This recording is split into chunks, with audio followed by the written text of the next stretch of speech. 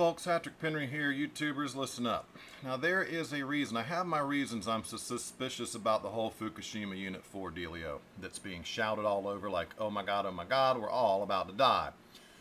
Originally, the first piece of damage mitigation that Natural News put out where they mentioned me, they had to, of course, at the time, but like I'm saying, at the bottom they did quote me, but the second and first part of the article, and the first part was that was about something else. The first part was about number four is about to collapse. Oh my God, oh my God, we're all about to die. Okay, now there's been another round of this number four sinking been raised, and I say because when you look back at uh, you know, when I put pressure on them to actually you know either write about this or let me keep pointing a finger at you and saying you won't write about it, so they did write about it carefully they put mine at the very bottom of the article. I got a couple videos on this. You can really visually see how small the FOIA document section was. And then they distracted by saying number four sinking, number four sinking. Well, that was back on May 11th of 2012 time has elapsed and now there's again a cry is being raised about Fukushima Unit 4 but also a cry is now being raised in independent sources about the NRC Freedom of Information documents and the contents of those documents and, and the effects that should be having on this election cycle okay? It's starting to leak out so is this a red herring? Well I'm very suspicious because Number one, if Unit 4 collapses, there's nothing we can do about it anyway. There's no, we can prepare, we can get water, maybe potassium iodine, store some food, maybe that sort of thing. But other than that, there's nothing we can do. We can do something about the NRC FOIA documents, and that's push Eric Holder to issue indictments and start putting people in jail, right? So whilst I can prove what I'm saying in the FOIA documents, this is just another possibly a red herring that's a, it's a bit of distraction, right? While I'm pointing out everything they've done and I've got proof of it in the Freedom of Information documents, they're saying, no, no, no, look over here. Unit 4 is about to collapse. We're all going to die. Don't worry about that. We're all going to die. Okay, I hope you understand how these little memes work and how they project these things, these realities, sub-realities, artificial realities onto the population. Now, is Unit 4 going to collapse? Maybe it's possible. You know, the whole thing over there is in a bad shape. But the fact of the matter is, right now, there's other things going on we can prove. I suspect this is a red herring. Let's have a look at Enformable. Now, quickly, here's back to ENENews. Sorry. Gundersen's saying this again, too. But again, I point out Gundersen is pro-nuclear. He won't go into detail on the FOIA documents. He will mention them in passing, but he won't talk about the, you know, thyroid doses of children in California and how they weren't going to release that to the public, all their modeling off Chernobyl, the talking points, the monitoring of um, the governors, the meetings with governors, the meetings with the FEMA and DHS and White House, and then they won't talk about the huge grand conspiracy contained within why? Well, it's pretty obvious, isn't it? Pretty obvious. You've seen my videos, you know what I'm talking about.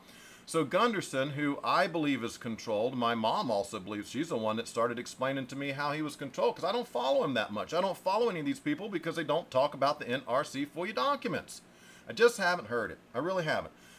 Now, Gundersen is alleging he's talked to the ambassador Murata of Japan, but when the, if you read the NRC FOIA documents, I know he has, he knows that they're all liars and proven liars within the documents. In fact, everyone's a proven liar within those documents. Oh my gosh, it's incredible. Everyone's, a, all agencies are proven liars in their fact.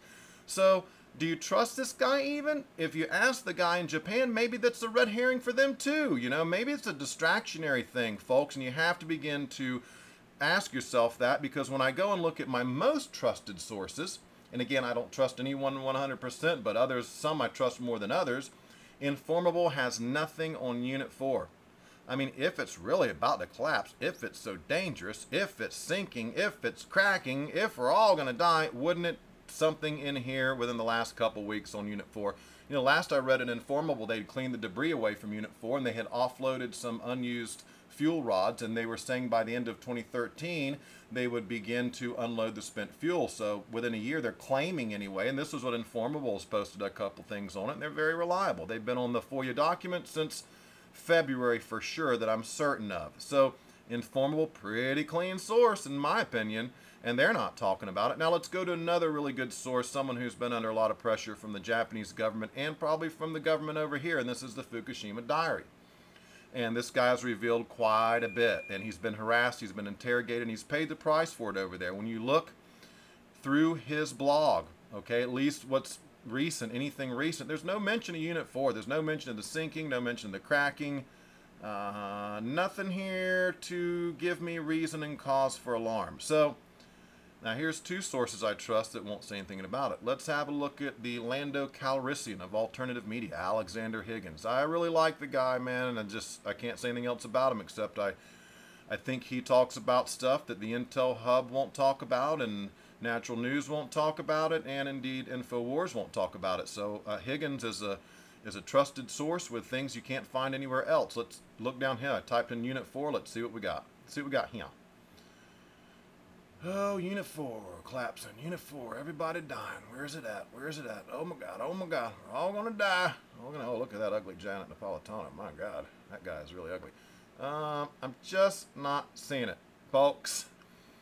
So, it's a bit of a toss-up. Three sources say it's going to collapse, we're all going to die, and three ain't saying nothing about it. In fact, Enformable says they're clearing it away, and within a year they should be unloading uh, spent fuel pools, so fuel rods out of the fuel pools. So, in any case, don't get too scared. Don't let them get the fear into you, because, in my opinion, this is a bit of fear mongering to distract from the NRC FOIA documents and the implications thereof that we've been you know, infiltrated. All the alphabet agencies are controlled. That's proven in there too. They're all liars, proven in there too. Nuclear energy is total failure, proven in there too.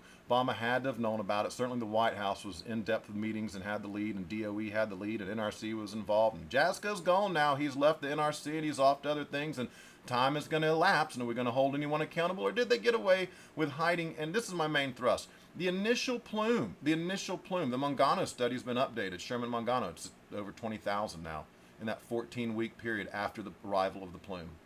And that's what they hid from us. Obama took off to South America during the week of the arrival of the plume with his family, took him down. I'm sure it's just a coincidence. It couldn't have been because of the plutonium or, or the uranium MOX fuel, the nanoparticulates that were undoubtedly floating across the Pacific jet stream straight to America. It couldn't have been that. I'm sure he was really down there for the best interest of the South Americans. If you look historically, we've done nothing but good stuff for them down there, haven't we? Okay, look, I'm just kidding, folks. You know that. In any case, I'm out of here. Don't let them scare you up on number four. There's nothing you can do about it anyway if it does collapse. What you can do, though, is write your congressman and start talking to people about the larger picture, and that includes the NRC FOIA documents, something that Alex Jones has carefully avoided this whole summer long. And I rest my case on that. Hatrick Penry over and out. Thanks for joining me, guys.